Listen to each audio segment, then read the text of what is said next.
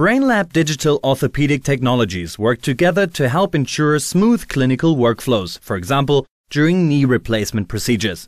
From pre-operative image exchange and planning to intraoperative navigation to post-op evaluation.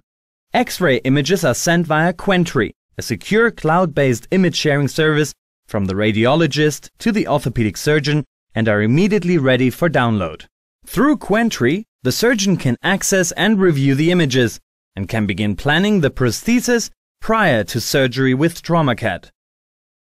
The automated planning tools of TraumaCAD allow virtual implants to be placed on the image, displaying axis alignment and providing recommendations for implant sizes. After planning, all data can be saved to the hospital PACS or back to Quentry for access anytime, anywhere. Surgeons can review, discuss, and amend the surgical plan in the OR before or during surgery.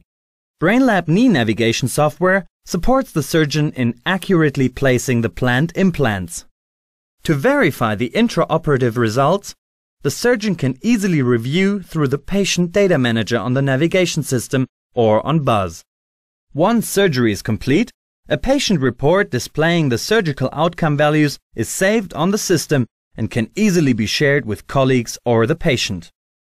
After the surgery, the surgeon can review all related data from PACS or Quentry on Buzz or an Office PC.